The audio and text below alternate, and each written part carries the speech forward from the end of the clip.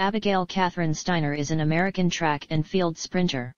She holds personal records of 10.90 s over 100 m and 21.77 s over 200 m. Steiner also competed in soccer for the University of Kentucky Wildcats.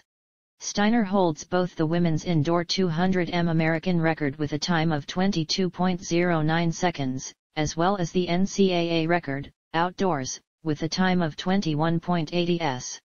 This talented rising athlete was born to her parents in 1999 in Dublin, Ohio, the United States of America. She celebrates her birthday on the 24th of November. Therefore, the age of Abby Steiner is 22 years old, as of 2021. Abby Steiner just signed a massive deal with Puma after finishing up her collegiate track and field career. The deal is reportedly for $2 million and is the biggest contract signed by a woman in track out of college. Steiner did track and field for Kentucky and was just crowned a national champion. She won the 200-meter women's final at the USA Outdoor Track and Field Championships.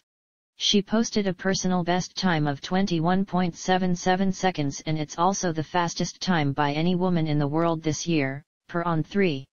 Abby Steiner graduated from Dublin Coffman High School. She is pursuing a human health sciences major at the University of Kentucky. Abby became news after she set collegiate records in the 200-meter dash as well as in the 100-meter dash. Therefore, many people are curious in learning about her accomplishment. However, she is famous for being a track and field sprinter.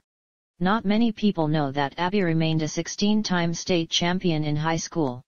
Later, she set records for the 60m, 200m, indoor and outdoor, and 100m races.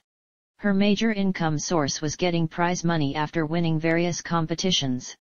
By 2022, she calculated an estimated net worth of $50,000 US dollars. Now Abby Steiner just signed a massive deal with Puma after finishing up her collegiate track and field career.